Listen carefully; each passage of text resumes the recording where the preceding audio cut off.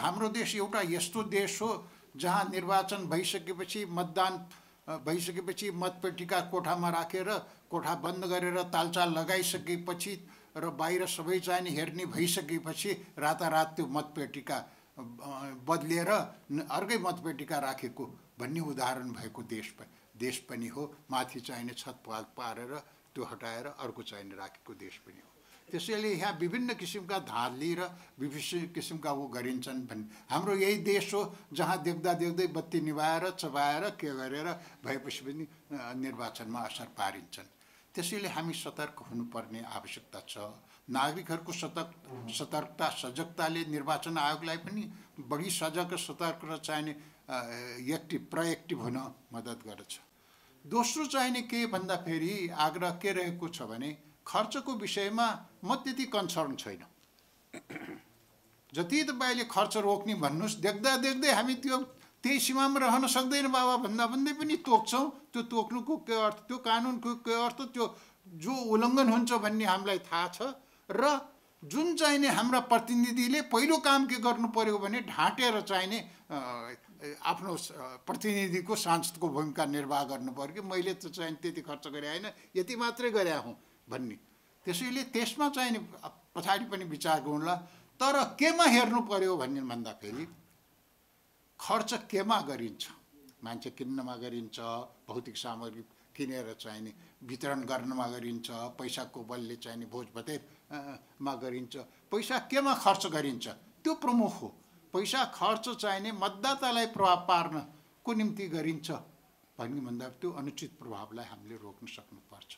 र हामी के देख्छौँ भने मौन पिरियडमा मौन त हुन्छन् तर सबैभन्दा सक्रिय पिरियड चाहिने सायद मङ्सिर तिन गतेको र त्यसमा पनि मङ्सिर तिन गतेको रातिको पिरियड चाहिने हुनेछ। जहाँ चाहिने सब किसिमका बदमासीहरू हुनसक्छन् त्यसैले त्यसमा निगरानी कसरी गर्ने भन्ने समस्या छ। एउटा कुरा म यहाँ भनिहालौँ। निर्वाचन आयोगप्रति जतिसुकै चाहिने आशा अपेक्षा गरे पनि निर्वाचन आयोग सरकारले प्रदान गर्ने सुरक्षा निकाय सुविधा इत्यादिबाट भर पर्ने चाहिने समस्या हो। त्यसैले जबसम्म सरकार पनि चाहिने इन्लाइटेड हुँदैन सरकारमा रहेका पनि इन्लाइटेड हुँदैनन् तब चाहिने गाह्रो पर्छ। निर्वाचन आयोगलाई पनि चाहिने दबाब नागरिकबाट दिइराख्नुपर्ने हुन जान्छ। र अर्को कुरा के भनेपछि हामीले आचार संहिता भन्छौँ। मैले आचार संहितालाई अलिकति बुझ्न गाह्रो छ। यदि चाहिने त्यो कानुनअनुसार दण्डनीय हुन्छ भने कानुनै भित्र पारे भइहाल्यो। दण्डनीय हुँदैन मोरल मात्रै अथोरिटी हो भनेपछि मोरल अथोरिटिसहरू मात्रै प्रयोग गरे भयो तसर्थ चाहिने त्यो आचार संहिताबारे पनि हाम्रा अलिकति चाहिने प्रष्टता हुनुपर्छ भन्ने लाग्छ।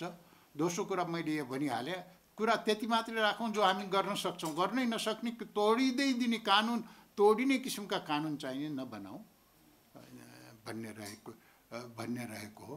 तसर्थ चाहिने त्यो त्यो चाहिने मतदानको दिनमा गर्ने चाहिने प्रक्रियामा विशेष गरेर चाहिने सत्तामा रहेका राजनैतिक पार्टीहरूले उनका उम्मेदवारहरूले कसरी चाहिने गर्छन् भन्ने निगरानी गर्नुपर्छ। यो मैले सत्तामा रहेका किन भने भनिन् भन्दाखेरि यदा कदा के देखिन्छ भनिन् भन्दाखेरि कानुन त छन् आचार संहिता पनि छ। त्यसको प्रयोग चाहिने डिस्क्रिमिनेटरी हुन भएन। त्यसको प्रयोग चाहिने के भन्दाखेरि जहाँ जहाँ प्रयोग हुनु पऱ्यो त्यहाँ प्रयोग हुनु पऱ्यो डिस्क्रिमिनेटी एउटा का विरुद्ध चाहिने त्यो आचार संहिता लागू हुने असमान प्रयोग चाहिने भयो भनेपछि त्यसले पनि चाहिने निर्वाचनप्रति चाहिने विश्वासलाई धक्का पुर्याउँदछ।